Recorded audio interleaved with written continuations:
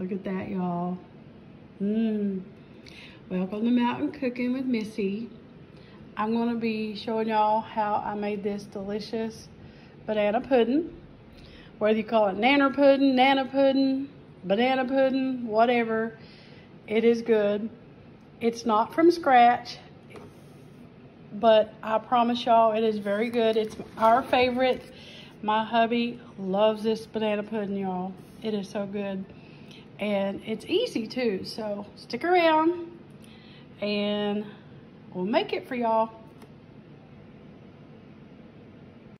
Hey mountain friends, I am going to be whipping up something very special today, a banana pudding, okay?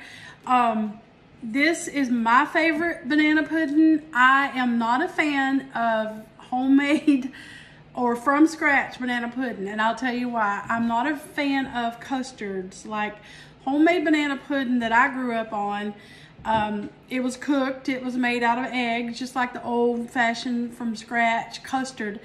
I'm not a fan of the eggy taste. I don't like it, okay? And I really don't like meringue. I am not a fan of meringue. Um, and so the banana pudding I grew up on was like made from scratch. It had a meringue topping. They used to put it in the oven and let it brown, which is all well and good. I ate it when I was little, but as I got older, I'm like, nah, I don't really like it. But y'all, this banana pudding is delectable. It's so good.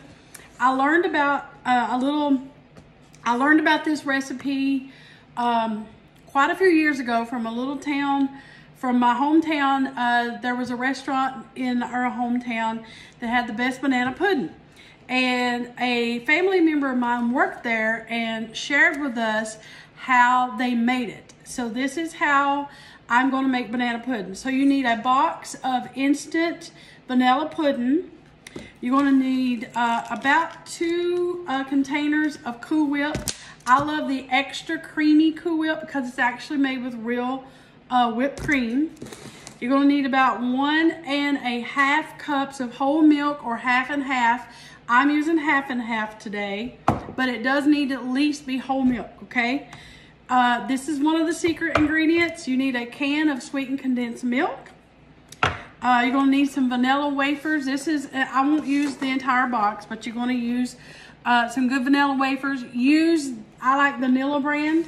I think they taste better uh, and you're gonna need around four cups of sliced bananas and you wanna make sure your bananas are not really green or overly ripe either, just right. But um, that's what this is going to have in it, y'all. So I'm excited. So let's get started. So we're going to get started. We're going to mix in our sweetened condensed milk. You can use a hand mixer if you want. But I like to use my stand mixer and I like to use a whisk attachment. So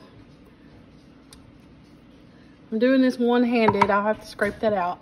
And you want to put your whole can of the sweetened condensed milk in and your milk. This is one and a half cups.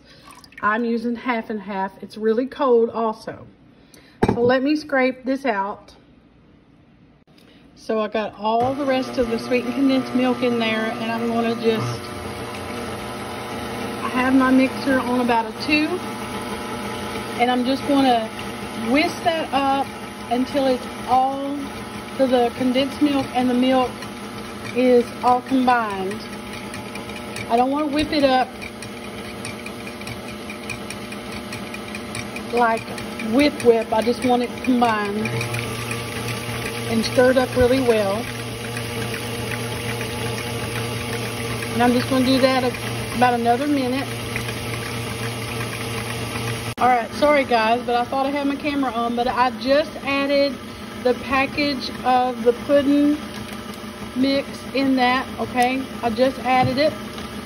So I'm going to let that blend up just for about another minute, and then I'm going to stir it, make sure it's all um, off the bottom.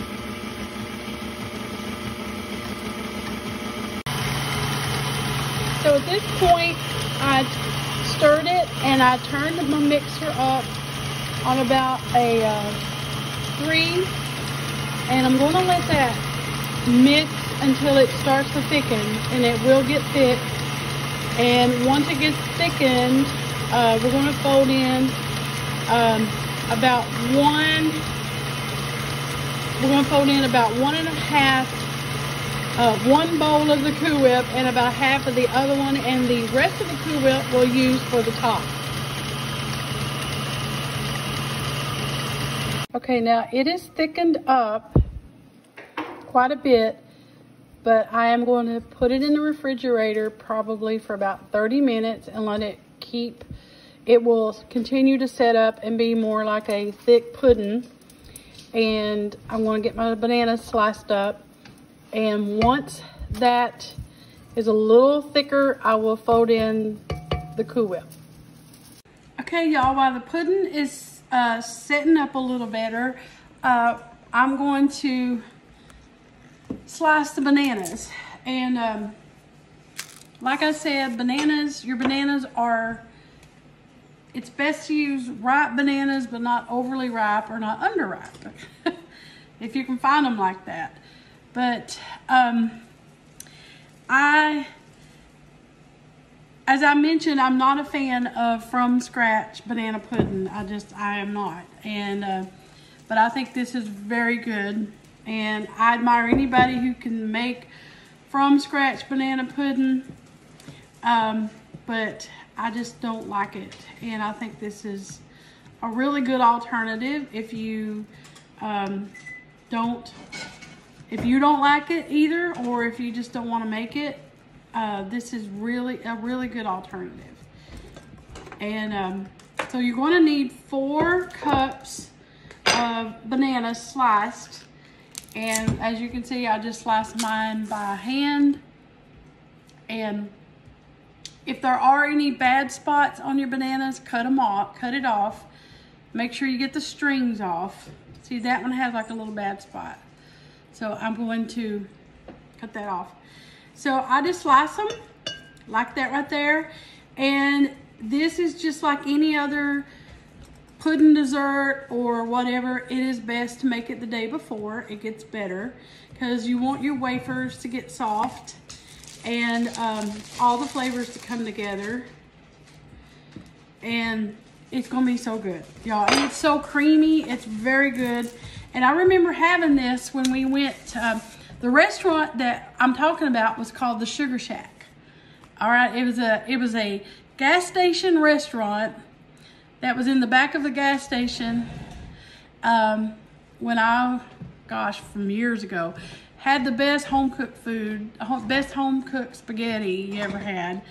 And um, the owner there um, made the best stuff, y'all. And she made this banana pudding. And I am so glad I got a hold of the way she made it. I mean, we made homemade banana, I mean, we made banana pudding out of um, box pudding mix, but we didn't know that she added the sweetened condensed milk in it and the extra Cool Whip in it. It's just so good. So, all right, I about got these done. And when we come back, we'll start putting it all together. Okay, y'all, the pudding is set up and it is nice and thick. So I'm going to fold in the Cool Whip now, okay? And I just want to let you guys know uh, the recipe calls for four cups of bananas. Um, I ended up using more because I like a lot of bananas. And there are, there's five large bananas here, okay? So that's a little more than four cups, which is fine. You want a good amount of bananas in it, put ever how much you want. So, but like I always say with any kind of recipe, as long as you put in the right combination, it doesn't really matter if something's a little more than the, than um, or a little less, as long as you get them all in combination. Um, but this is how, this is really good, y'all. And the extra bananas, I think, is uh, really important because you want a lot of good bananas in every bite. So this is good and thick. As you can see, it's nice and set up. And it's creamy, so I want to show you guys now, if you did not, if you don't have Cool Whip or don't want to use Cool Whip and you want to use your own whipped cream, it'll be about three cups of homemade whipped cream. You can you can whip your own, uh, uh, make your own whipped cream if you want with heavy whipping cream. And it would be about three cups if you did that, if you wanted to do that. I have used homemade whipped cream, but when I discovered that Cool Whip made an extra creamy brand, I use this a lot because it just saves time. And because real, uh, original Cool Whip really has no dairy, you all, it really doesn't. And I won't use original Cool Whip because I just don't like it. Um, uh, but the extra creamy Cool Whip, I like because it does have real cream in it and it tastes really good. So anytime you're doing, when you're folding in whipped cream or Cool Whip, you don't want to overdo it. You just want to fold it in like that right there. Get it all in.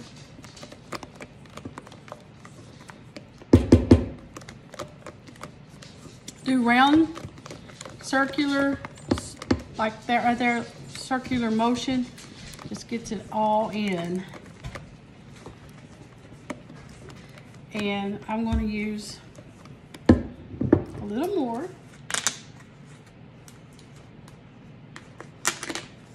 I'm just going to use just a couple of dollops more out of uh, this other bowl because I am going to put some Cool Whip on top.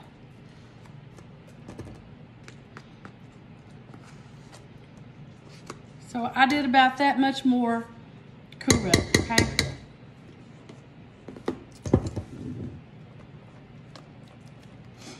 And Kenzie's over here licking the bowl, the Cool Whip bowl. I love Cool Whip. Yeah. The extra creamy really tastes better Oh, than yeah. the Kinsey. Yeah. Yeah, If in case you didn't it, know, yeah, if you freeze it, it tastes like ice cream. My dad likes it froze. I've always done that at Mama's. Yeah. So see, that is so creamy and velvety. So it's ready to put together. So I'm gonna put mine in one of these um, pans and we'll just show you guys how I'm gonna do it. So you wanna put, you wanna start out with your cookies on the bottom.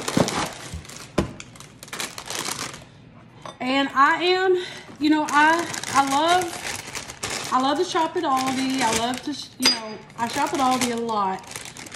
But like I said in the beginning of this video, for me personally, Gotta use vanilla bread. yeah, I think the Nilla brand so is important.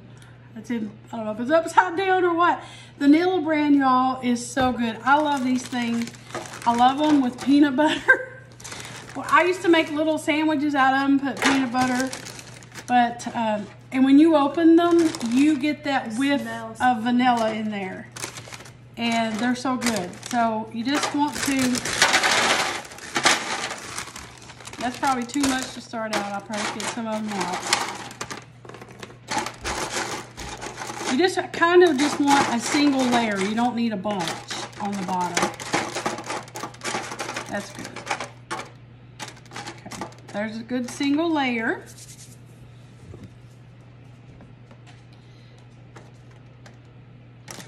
And you're gonna put your pudding on there.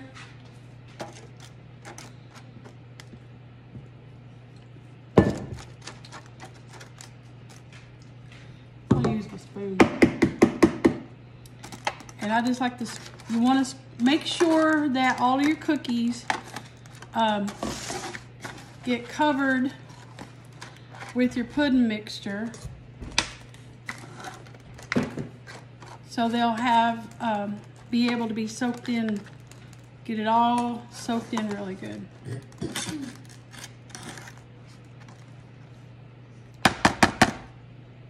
Okay. And bananas. Mm. Want a good amount of them.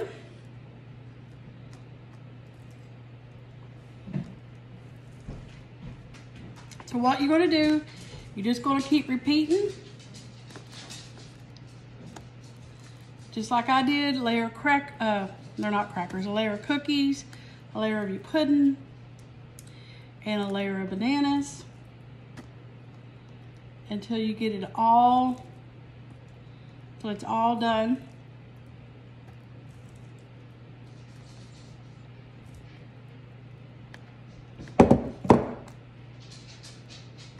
To spread this out, spread these out just a little.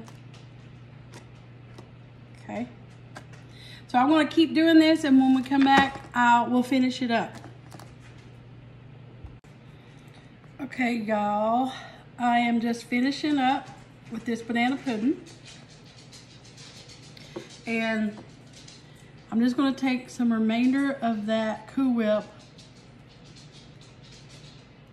and just spread it on top.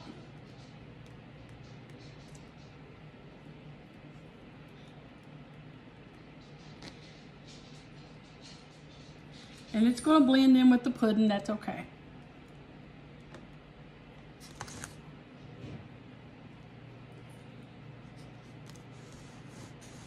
All right. And so what I like to do, I like to take some wafers and just stick them down in the edges. Some of these stuck together, I don't know why. That way, I always make these for like church functions or whatever. I always, when I do a banana pudding, I like to put my wafers where they're visible. That way people know that this is, they'll get, they'll know when they see these wafers that it's likely a banana pudding. Like when I do a red velvet cake, I always do some uh,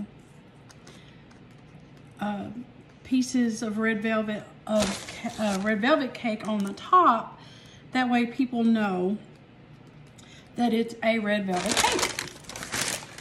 So I just take whatever, I have a few cookies left and I'm gonna crush them up.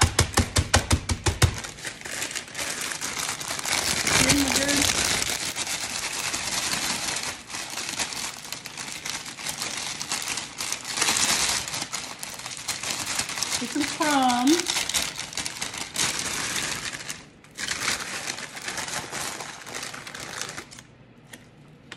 Just give that a good little sprinkle.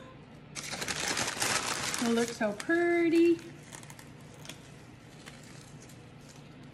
Y'all, I made this, I make several of these when I go, uh, like I, y'all have heard me say before, I've cooked in youth camps before. Um, and the one I've met, the one I've cooked in is uh, a youth camp in South Dakota and our church always went uh, to minister there to uh, the Sioux Indian tribe. Um, and they love desserts. And so every night on the menu, I did some kind of dessert. So I made them, I made several of these because, you know, you're feeding a bunch of people. But the youngins up there love this nanner pudding. Someone called it nanner pudding. They love this. So this is a favorite. There you go, y'all. That is easy. It's actually very easy. No cook. Um, nanner pudding. My husband calls it nanner pudding. He loves it. And it's easy and it's good. But now it's better to let it sit. So I'm going to cover it and let it sit. Uh, it's best to let it sit overnight or at least for several hours, at least four to six hours before you serve it. It'll get better though. But overnight, y'all, it is so good. But there you go, y'all. I hope you make it. If you make it, let me know. I will upload this recipe under the recipe section of my photo albums on my page. I will um, upload this recipe, y'all, for you, okay? All right, guys. So, thank you for watching Mountain Cooking with Missy. Hope you all enjoy this nanner pudding uh, where it's nothing fancy. It's just good eat. Bye, guys.